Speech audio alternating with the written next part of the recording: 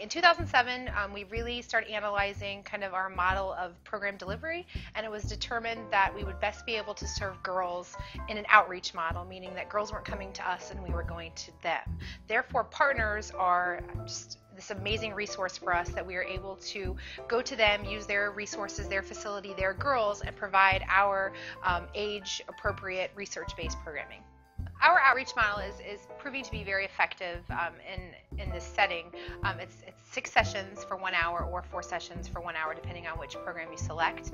Girls Inc. is typically able to supplement programs for girls that uh, community centers and schools necessarily aren't the experts in. Um, our age appropriate and research based programs tackle a variety of subject matter, such as financial literacy, um, media literacy, girl aggression, and those are things that typically, um, especially in the arena of schools, they're focusing very much on academics and we're able to supplement kind of their programs with ours. We were actually contacted um, with by Juan Angay, who is the director at the Lagore Boys and Girls Club, um, and he was just kind of overhearing some conversations that were taking place with his girls, and he did some research on some programs to um, send them positive messages as they're growing, um, especially some sexuality-based programs and relationships. And he sought us out to provide our Growing Together program for them to um, educate them and empower them on making good choices as they grow.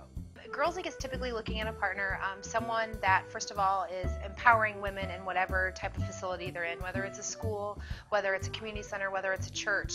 And then we're looking for a safe space. Um, the space needs to typically have a door on it, um, and it also needs to be free of boys because we all know that girls tend to act a lot differently when a male walks into the room where there is that male presence.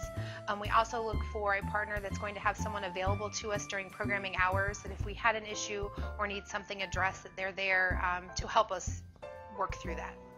Um, there is a hesitancy for girl programming mainly because they don't know what do we do with the boys. Um, and at that time, we offered them some organizations in the Indianapolis area that work with boys.